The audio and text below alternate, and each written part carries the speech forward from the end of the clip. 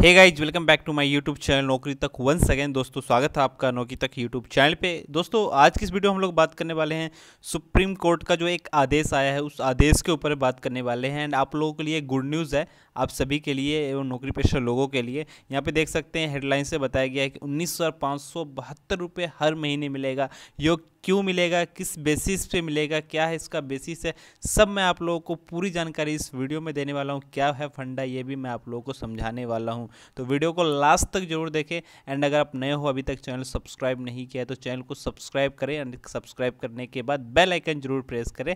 इससे क्या होगा कि जब भी कोई नई गवर्नमेंट जो कि वैकेंसी आएगी या कोई लेटेस्ट अपडेट आएगी आप लोगों के लिए तो सबसे पहले वीडियो आप लोगों तक पहुँच पाएगा। एंड हमारा एक टेलीग्राम का चैनल भी है, जिसका लिंक आपको डिस्क्रिप्शन मिल जाएगा, आप हमारे टेलीग्राम चैनल को भी ज्वाइन कर सकते हैं।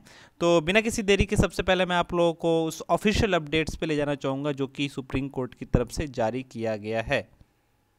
दोस्तों, ये जो इन्फॉर्मेशन जो आई है, इसको जो है एक वेबसाइट पे जो है डाला गया है एंड उस वेबसाइट ने शेयर किया। काफ़ी ट्रस्टेड वेबसाइट है, जिसका लिंक मैं डिस्क्रिप्शन में देने वाला हूँ। आप उस लिंक पे क्लिक करके इस वेबसाइट पे विज़िट कर सकते हैं। एंड फाइनली से बताया क्या गया, इसके बारे में आपको बता दूँ। सबसे पहले यहाँ पर देख सकते हैं टॉप में बताया गया है कि सुप्रीम कोर्ट की तरफ़ से जो है, ये फाइनली जो है जारी कर दिया गया है। दोस्तों, सबसे पहले क्या है, इसमें, इससे जो बताया गया है, वो सैलरी से रिलेटेड इशूज़ को जो है, वो दूर किया गया सुप्रीम कोर्ट से दिल्ली सरकार को जो है, भारी राहत मिली है कोर्ट ने। राज्य सरकार को आदेश दिया है कि जो सैलरी का जो बेसिस है, उस सैलरी के बेसिस को सही किया जाए एंड एक सही मानदेय दिया जाए, एक सही सैलरी दी जाए। जो भी काम करने वाले वर्कर्स हैं, जो ये गवर्नमेंट एम्प्लॉय हैं, उनसे रिलेटेड एक बहुत ही बड़ी अपडेट्स आई है। एंड अपडेट्स ये देख सकते हैं कि बताया गया है कि इसके साथ ही कोर्ट ने इस बारे में दायर की कि विभिन्न अपीलों को त्वरित सुनवाई पर लाने का आदेश दिया है। विभिन्न नियोक्ताओं फैक्ट्री मालिकों दायर की है कि इस अधिसूचना में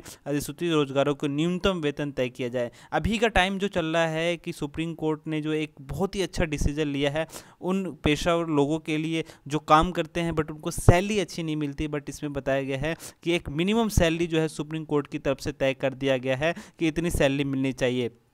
अगर आपको यहाँ पे देख सकते हैं क्वालिफिकेशंस के बेस पे अगर सपोज़ आप नन मैट्रिक से आपने जॉब ली हुई है तो आपको सोलह हज़ार तीन सौ इकतीस रुपये से मिलने वाली है सैलरी अगर आपने मैट्रिक जो इसमें जो है आपने इंटर किया हुआ है तो देख सकते हैं सत्रह हज़ार नौ सौ इक्यानवे मिलने वाला है ग्रेजुएशन किया है तो उन्नीस हज़ार पाँच सौ बहत्तर रुपये पर मंथ एक बेसिक सैलरी जो होती है, वो सैलरी दिया जाएगा। बट अभी क्या है कि अभी बेसिक सैलरी नहीं दी जा रही, मनमाना सैलरी दी जा रही है। तो एक बेसिक सैलरी का स्ट्रक्चर तैयार किया गया है सुप्रीम कोर्ट की तरफ़ से एंड इसके लिए सबसे सबसे बड़ा क्रेडिट अगर जाता है तो वो सुप्रीम कोर्ट को जाता है, क्योंकि इतना अच्छा डिसीज़न मेरे ख्याल से और कोई नहीं होगा, क्योंकि अभी जो अनएम्प्लॉयमेंट का रेशियो बढ़ता ही जा रहा है, उसके हिसाब से तो बहुत ही अच्छा डिसीज़न है। एंड आपकी क्या राय है? आपको क्या लगता है ये जो डिसीज़न ले गया, सही डिसीज़न है या गलत डिसीज़न है? अपनी राय ज़रूर बताए। गाइज़ उम्मीद करता हूँ कि ये जो इन्फॉर्मेशन शेयर किया है, आप ज़्यादा से ज़्यादा लोगों के साथ शेयर करोगे, ज़्यादा से ज़्यादा लोगों को बताओगे तो शेयर ज़रूर करना।